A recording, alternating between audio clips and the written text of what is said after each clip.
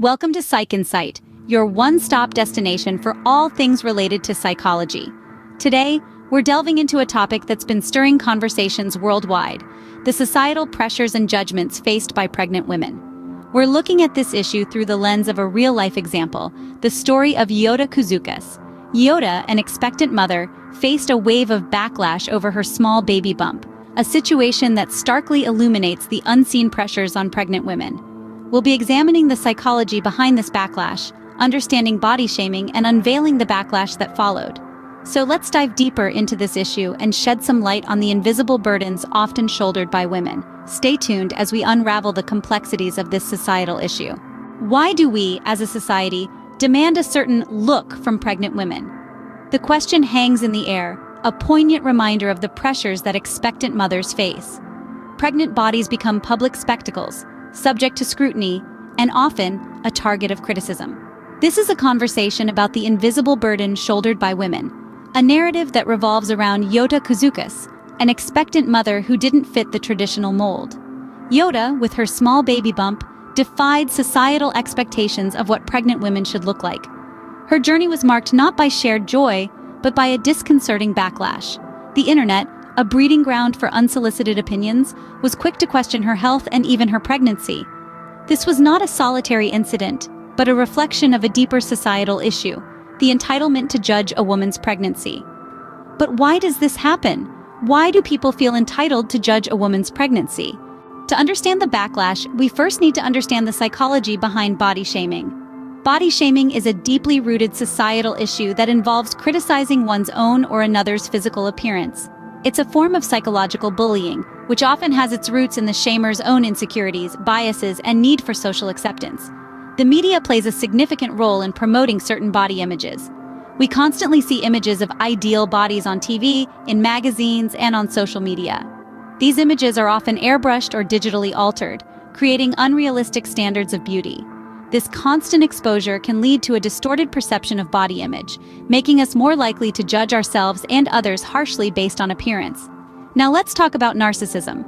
Narcissism is a personality trait characterized by a grandiose sense of self-importance, a lack of empathy for others, and a need for excessive attention and admiration. Narcissists often project their insecurities onto others as a way to boost their own self-esteem. So how does narcissism contribute to body shaming? Well, narcissists often use body shaming as a tool to assert dominance and control over others. They feel threatened by those who don't conform to their ideals and react by criticizing and belittling them. This behavior not only helps them maintain a sense of superiority, but also diverts attention away from their own perceived flaws. In essence, body shaming is a complex issue that stems from a combination of societal pressures, personal insecurities, and narcissistic tendencies. It's not just about the physical body, but also about power dynamics, control, and a deeply ingrained desire to fit in with societal norms. But how does this apply to pregnant women specifically? Let's dive deeper. Now, let's examine the backlash against Kouzoukas more closely. The story of Yiota Kouzoukas, an Australian businesswoman and expectant mother, and her smaller-than-average baby bump, became a hotbed for controversy. Criticism and judgment came pouring in from every corner of the internet, with people scrutinizing her body and questioning her health and that of her unborn child. The backlash was not rooted in concern, but rather, it was steeped in societal expectations and narcissism. You see, society has a preconceived notion of how a pregnant woman should look. When Kouzoukas did not fit into this mold, people felt entitled to voice their opinions, to question her journey, and to impose their expectations onto her. But let's dig deeper into the role of narcissism in this backlash.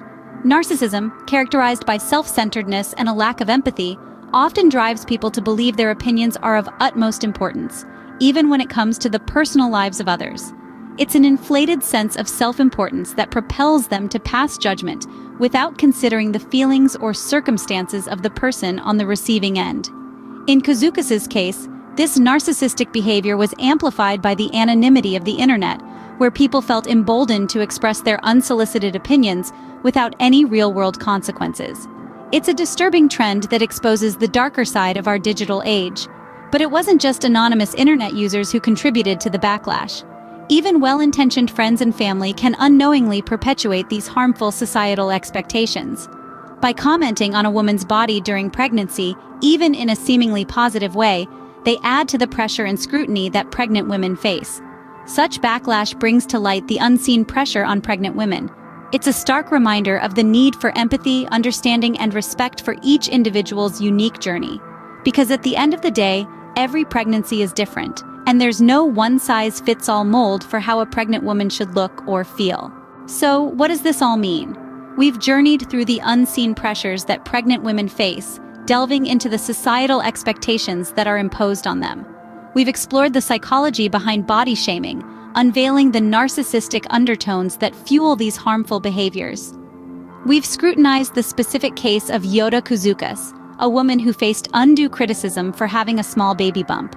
Her experience is a prime example of the damaging effects that these societal pressures can have, reinforcing an unrealistic and narrow standard of what pregnancy should look like. In essence, these issues boil down to one key point.